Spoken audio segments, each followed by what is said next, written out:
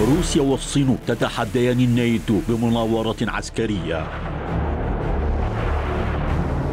دشن الجيشان الروسي والصيني تدريبات بحرية وجوية في محيط مدينة جانغ يانغ جنوبي الصين.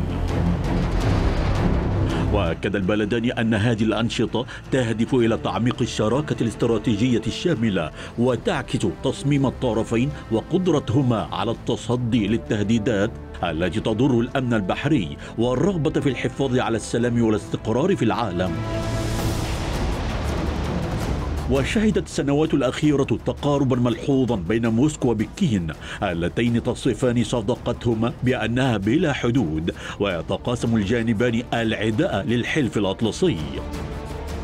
وواكبت هذه الإجراءات الأسبوع نفسه الذي شهد انعقاد قمة الناتو في واشنطن التي أكد خلال الحلفاء دعمهم لأوكرانيا في حربها مع روسيا.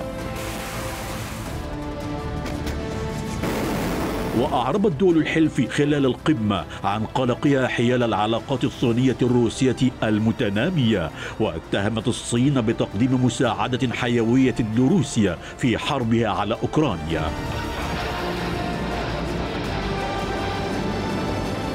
كذلك بدأت القوات الصينية هذا الأسبوع سلسلة من المناورات العسكرية المشتركة مع الجيش البيلاروسي في بريست جنوب غربي بيلاروسيا تستمر حتى منتصف يوليو الجاري.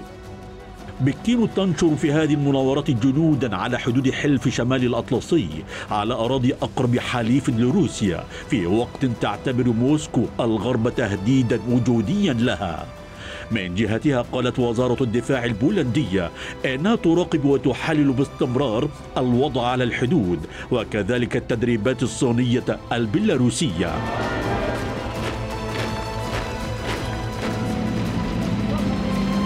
وشددت وارسو على عزمها تعزيز وجودها العسكري وأنظمتها الدفاعية على حدودها وهي ضمن الحدود الشرقية للاتحاد الأوروبي وحلف شمال الأطلسي.